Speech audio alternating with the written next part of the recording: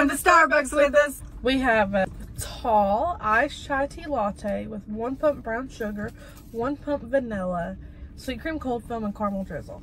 Mine has two pumps, Okay, mine has two pumps too. So but that's not what we ordered. no, we only wanted one pump of each, but we got two pumps of brown sugar. So I like sugar, but I've never had chai tea. I had it from Dunkin'. Get out of the car. I tried to get her to let me add white mocha to it. Ooh, ugh. that's awful. Tastes like cinnamon. Cinnamon, I mean. That's gross. Six out of ten. One. This is nasty. It reminds me of like a Christmas tree. Reminds me of what a Christmas tree, like you know, the wreaths, the Christmas Mm-hmm. wreaths, what they smell like. It kind of reminds me of a, like a Barnes and Noble candle. Not Barnes and Noble. Yeah. Bath and Body Works. The white white barn. What's it called? Yeah, White barn? White barn. That's nasty. It's a good thing I got my back up. Mm.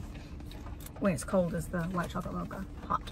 With sweet cream cold foam mixed in. I got a back up too. We've learned too many times getting bad drinks. White mocha couldn't even help that, baby. That's nasty. Don't order that. I would never get it again. That's gross. I can drink it. Oh, good. You got two.